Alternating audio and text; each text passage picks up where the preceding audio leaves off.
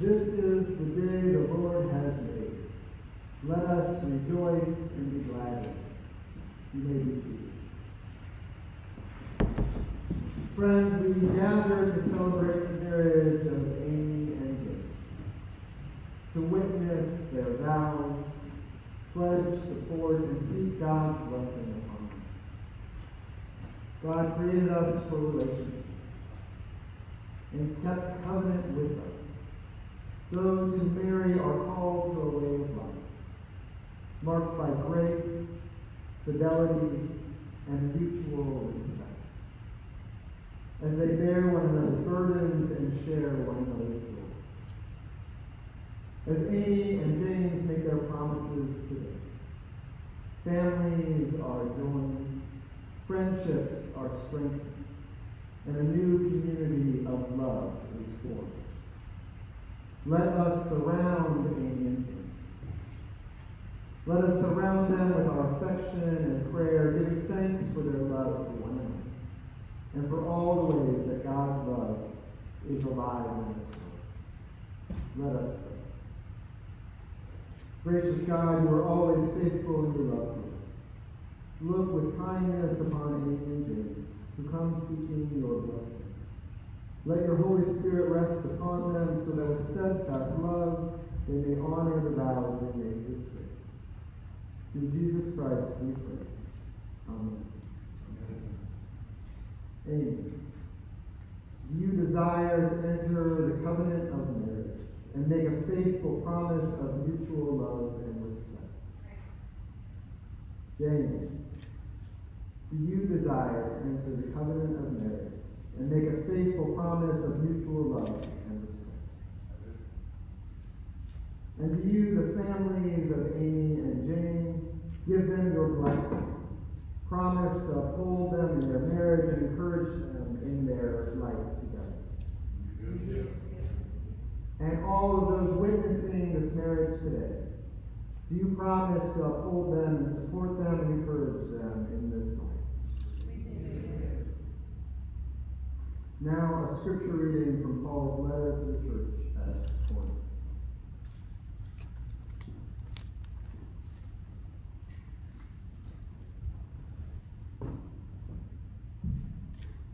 A reading from 1 Corinthians chapter 13, verses 4 through 13. Love is patient. Love is kind. Love is not envious or boastful or arrogant or rude. It does not insist on its own. It is not irritable or resentful. It does not rejoice in wrongdoing, but rejoices in the truth. It bears all things, believes all things, hopes all things, and endures all things. Love never ends. But as for prophecies, they will come to an end. As for tongues, they will cease. As for knowledge, it will come to an end. For we know only in part, and we prophesy only in part. But when the complete comes, the partial will come to an end. When I was a child, I spoke like a child. I thought like a child, I reasoned like a child. When I became an adult, I put an end to childish ways. For now we see in a mirror, dimly, but then we will see face to face. Now I know only in part, then I will know fully, even as I have fully known. And now faith, hope, and love abide. These three, and the greatest of these is love. Love is patient, love is kind. It bears all things, hopes all things, endures all things. Love never ends. What a weird time to be getting married. Surrounded by a fraction of who you thought would be here today. In a world of danger, toil, sickness, and fear. What a wonderful time to celebrate a marriage. Something beautiful and joyful. What a time to celebrate love and life, partnership, family, and community. What a time to be reminded of the importance of patience and kindness. To be reminded of what fuels our hope and our. To be reminded of the importance of loving loved. We give thanks today for that. In marriage, love takes on different forms and iterations. There are times when you need to be passionate and times when you need to be gentle. There are times when your love should be giving and times when you will need to be loved more than you need. But much of marital love is a slow burning flame, a steady light that gives warmth, and is only really noticed when it's on. A minister I know once said, ordinary love, anonymous and unnoticed as it is, is the substance of peace on earth. Ordinary love is anything but ordinary. It is hard. It requires daily, daily patience, honesty, grace, and kindness, but it can also bring you extraordinary peace, extraordinary strength and comfort. So in this world of sickness and toil, let love burn as a sign of goodness, peace, beauty, and hope.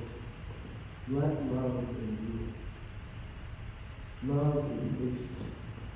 Love is kind. It bears all things, hopes all things, endures all things. Love never. Thanks be. Amy and James have written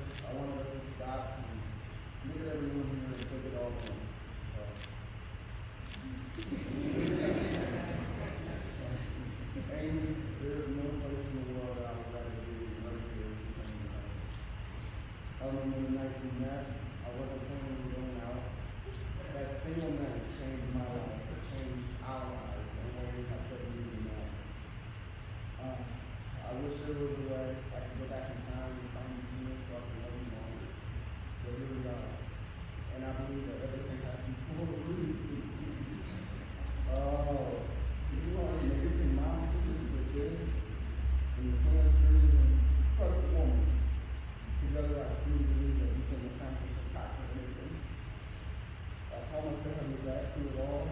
I promise to always look for gluten-free snacks every time you I promise to take your glasses off for you at night when you fall asleep in. And I promise I will tell you that I love every single day of our lives. I couldn't be more excited to call you my wife and go all this family. I speak for Alex and Elijah when I say thank you for everything you do for us. And we love you unconditionally.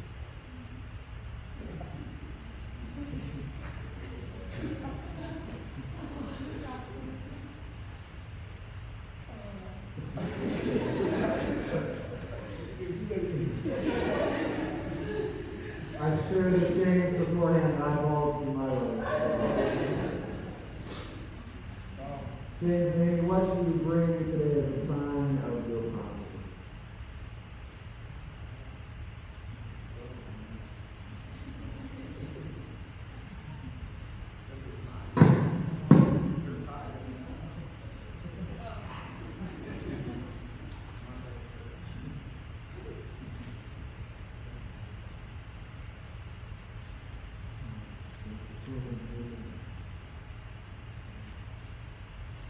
Bless these rings and for him and James symbols of love and faithfulness and signs of the promise they have made. James, will you please repeat after me? Amy, I give you this as a sign of my love, a reminder of my vows, and a symbol of the promise we make me. James, I give you this ring as a sign of my love, a reminder of my vows, and a symbol of the promise we make this day.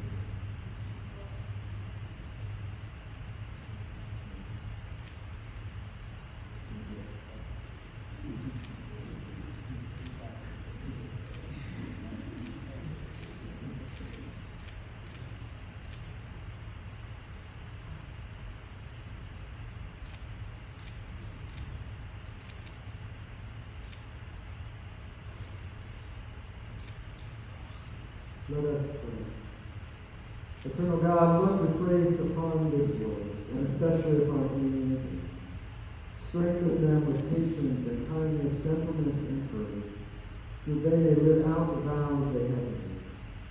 Enrich all of us with your grace, so that supporting one another we may serve and love those in need. And help us care for and James. May we support them in times of need and celebrate with them in times of joy. May you nurture love in us all. Amen. Before God, and in the presence of these witnesses, Amy and James have made a solemn vows to each other. They have confirmed their promises by the joining of hands and by the exchanging of rings. Therefore, I proclaim that they are now married.